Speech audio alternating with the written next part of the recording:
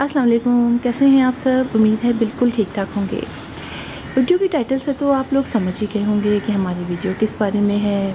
इससे पहले मैंने वीडियो डाली थी जिसमें मैंने बताया था कि हमने घर शिफ्ट कर लिया है, जिसमें हमारे प्लांट्स काफ़ी ज़्यादा ख़राब हुए। उसके बाद मुझे कोविड हो गया, जिसके बाद मेरे प्लांट्स मज़ीद ख़राब हो गए।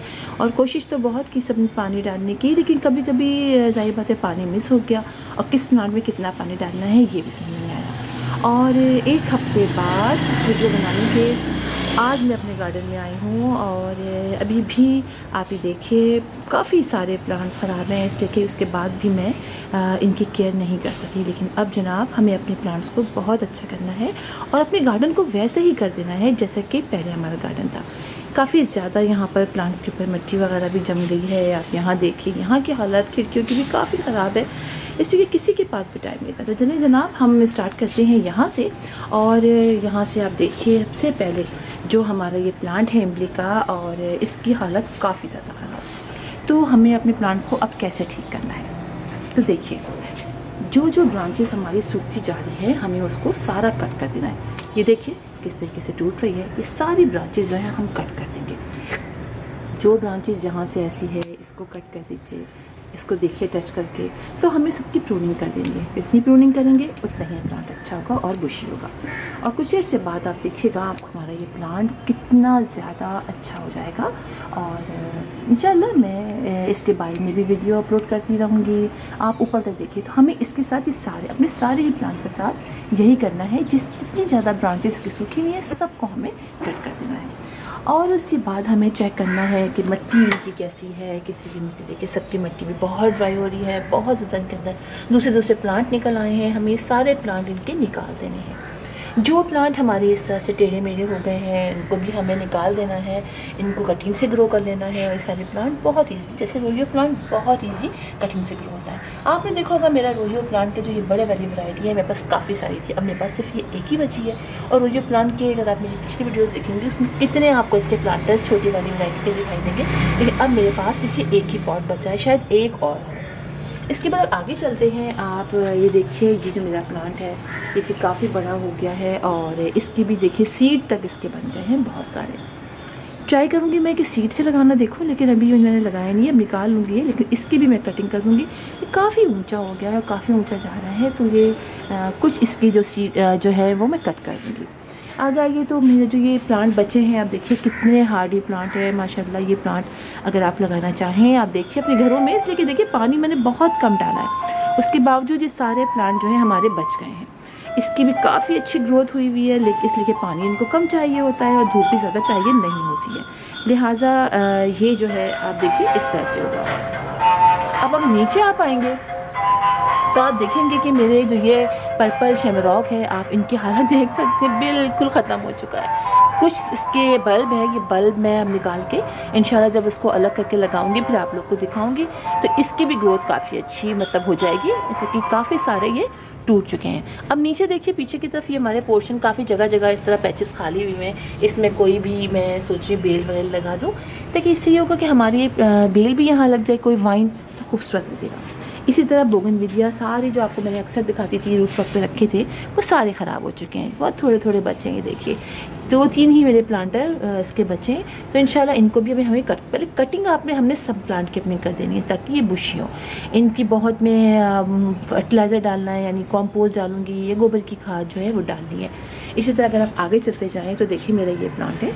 और इसके अंदर मैं, इसको भी मैं अब पिंचिंग कर दूँगी। इसकी कटिंग तो फ्रूनिंग तो नहीं करूँगी, लेकिन इसकी पिंचिंग कर दूँगी। वो इस तरह से कि ये मैंने लिया, इसके बीच का जो पोर्शन है, ये इस तरह से मैं इस तरह से तोड़ते जाएँगे। इससे फ़ायदा ये होता है कि हमारे सारे प्लांट जो हैं वो बुश हो जाते हैं। ये सबसे बहुत बेहतरीन मेथड है। अगर इसलिए कि मैं इसको कट करूँगी तो ये बहुत छोटा सा हो जाएगा। फिर अच्छा नहीं लगेगा। इसलिए इसके ऊपर से सारे ऐसे मैं पिंचिंग करती चली जाऊँगी। ये बहुत इंपॉर्टेंट है। अब अगर हम आते हैं यहाँ पर तो आप ये देखिए कि ये जो मेरी आ, आ, इस तरह इसकी वाइन है पूरी। आप ये देखिए सारी ये वाइन जो है वो नीचे की तरफ़ आई हुई है तो इन ये वाइन जो है हमें ऊपर चढ़ानी है। तो ऊपर जब हम करेंगे इस स्पेरिगस फन की वाइन तो इस वाइन मेरे पास तीन है। इन तीनों जो एक ये तो मैंने वैसे लगाई हुई थी आप जानते होंगे मैंने फिर जब इस घर में शिफ्टिंग की हमने तो हमने इसकी वाइन को नीचे से कट कर दिया।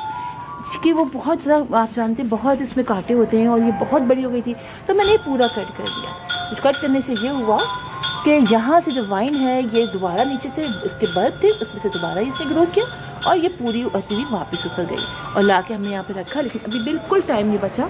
तो ये देखिए, ये किस तरीके से यहाँ ये ऊपर जा रही है। और अब अगर हम बैक पे करें तो यहाँ देखिए सीढ़ी वीढ़ी रखी हुई है, इनको हमें हटाना है। इस पोर्शन को बहुत अच्छा बनाना है। अब आप आइए इधर देखिए तो यहाँ पर भी आपको कुछ प्लांटर्स खाली मिलेंगे। सारे प्लांटर मैं अब उठा लूँगी यहाँ से। उठा के मैं एक जगह कर लूँगी, फिर उसमें से मैं ग्रो करना और प्लांट लगा ला के ग्रो करूँगी। इसी के साथ देखिए, ये मेरे टेटर वाइन का बड़ा खूबसूरत था। ये यहाँ पर उस दिन से रखा हुआ है, और ये देखिए, किस तरीके से ये ऐसे हो रहा है। तब इसको भी हमें सही करना है। इन जब जब मैं प्लांटर्स बनाती जाऊँगी तो कुछ ना कुछ आप लोग को भी यकीन दिखाती जाऊँगी। इसी के साथ अगर आप इधर आएँ तो देखें ये मेरा एलिमेंटर का है। एलिमेंटर चाय में एक ना एक फ्लावर इसमें निकाल ही दिया है। तो अब इसके अंदर भी हमें काफ़ी चीज़ें डालनी है। कट प्रूनिंग मुझे बहुत प्लांट्स की करनी पड़ेंगी। अब हम आगे आते हैं और यहाँ पर देखें अगर आप आएँ तो ये देखिए, यहाँ गाड़ी खड़ी है। इस गाड़ी को भी हमें शिफ्ट कर देना बाहर रख देंगे तो इससे फ़ायदा ये होगा कि हमें पूरा पोर्शन मिल जाएगा। तो ये गाड़ी भी यहाँ पर हमारी कार जो है खड़ी नहीं होगी। इसको हम बाहर शिफ्ट कर देंगे। बाहर खड़ी हुआ करेंगे। अब अब इधर आते हैं हम। अब हम इधर आते हैं। तो आप ये देखिए कि यहाँ पर ये हमारा शहतूत का है। काफ़ी अच्छा हो गया है, बहुत सूख भी गया है इसको। आप इस तरीके से हमें इसको भी करना है आगे। अगर आप इधर आते हैं, यहाँ आप देखिए, यहाँ पर भी मेरी बहुत सारे प्लांट ख़राब हुए हुए हैं। सबकी आहिस्ता आहिस्ता हम केयर करते जाएँगे और इन कुछ अर्से बाद आपको मैं दिखाऊँगी। आप ये देखिए, ये मेरा जो है, ये वाला प्लांट जो है, आप देखिए किस तरह से ये पिंक वाला ख़राब हो गया है एरोहेड प्लांट और यहाँ पर भी हाँ एक देखिए मेरा ये भी है यहाँ पर। जगह जगह रखे मुझे कुछ भी याद नहीं है, लेकिन बहुत कम रह गए एक ही दो ये रह गए दो हो गए यानी एक ये एक ये। और यहाँ पर देखिए इस तरीके से की ये भी वाइन है, ये भी देखिए इस तरह गिरी हुई है। अब इसे भी मुझे ऊपर चढ़ाना है। यहाँ पर अगर आप आते हैं तो ये सारे, देखिए प्लांटर्स तो अभी भी प्लांट बहुत है। ये देखिए मेरा फर्न ये भी बिल्कुल सूख सूख के कैसा हो गया है, यहाँ देखिए स्विच चीज़ वाइन भी, यहाँ भी कुछ पॉट वॉट ऐसी, ये देखिए, ये बिल्कुल, ये देखिए। तो इस सबको मुझे कट करना है, इसको तो पानी में लगा दूँगी।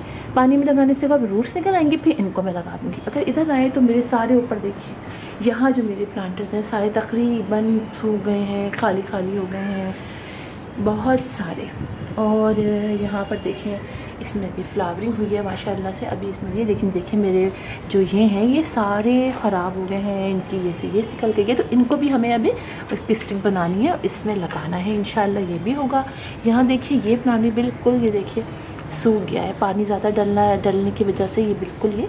और टिफ़िन बाकी के तो सारी हैं मेरे डंडे जो हैं, वो टूट गए हैं। तो इनको भी हमें लगाना है। तो ये हमारा मिशन है इन फिर जैसे जैसे मैं करती जाऊँगी और अब यहाँ, आपको बताती रहूँगी।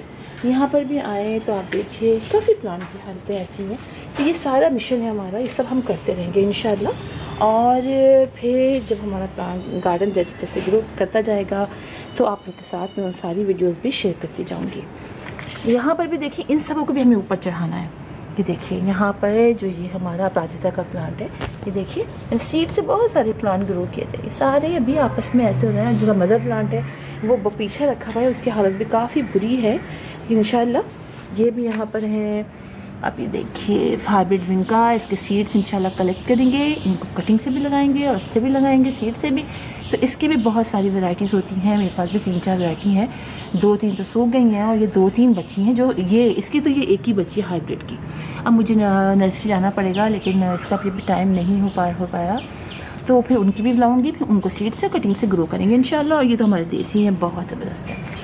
इसी के साथ साथ आप देखिए कि हमारा जो ये वाला प्लांट है, इतना ज़बरदस्त ये देखिए हो, निकल आया है। मैंने इसकी सी जिसके बल्ब होते हैं, वो मैं इसमें डाल दिए थे।